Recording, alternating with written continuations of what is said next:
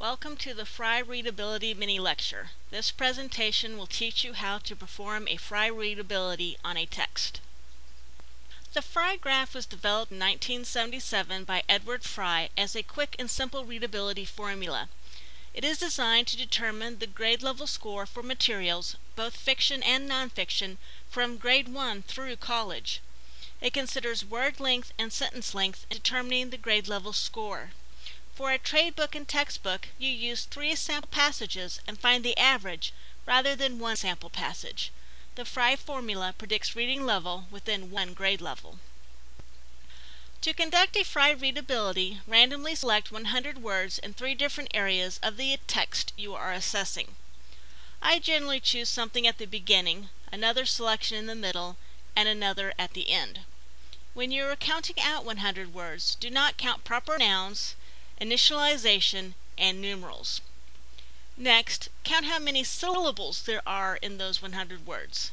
Then count how many sentences are in those 100 words, estimating length of the fraction of the last sentence to the nearest one-tenth.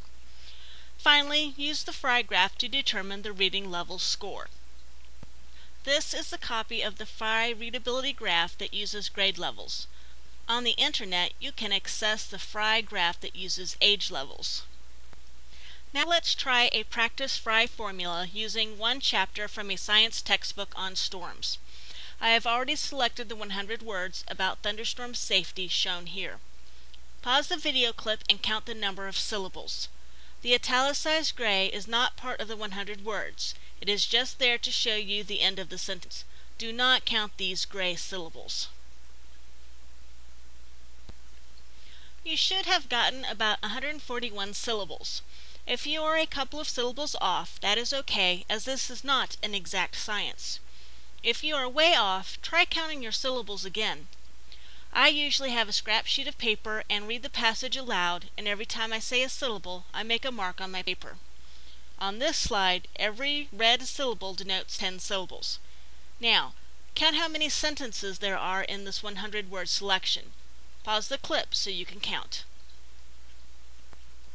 You should have gotten about 5.7 sentences.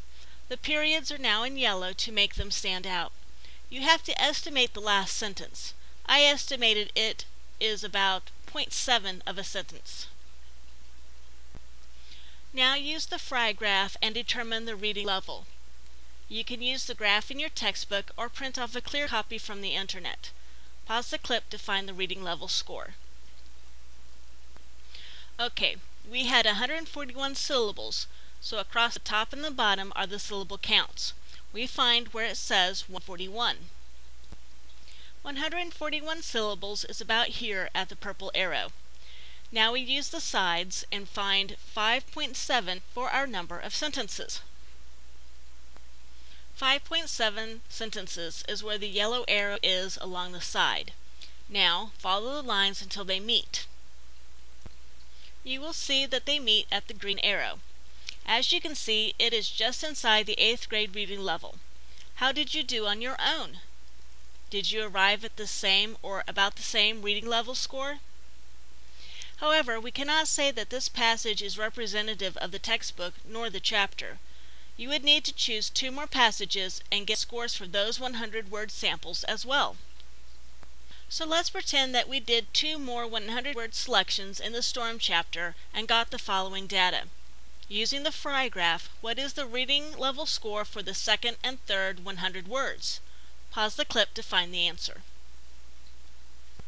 You should have found that the data for the second 100 words is 9th grade reading level, and the data for the third 100 words shows 10th grade reading level. Personally, when I get three different reading levels within one chapter, as this data shows, I do a fourth 100 word passage to help handle any outliers, such as multisyllabic words, that are skewing the data. However, you can average this to have an idea of the readability of the storms chapter. To find the average readability score, add the syllables together and divide by 3. Then average the number of sentences. Then use the Fry graph to find the reading level. Do you have the answer? Pause the video clip to find it. You should have a ninth grade reading level score.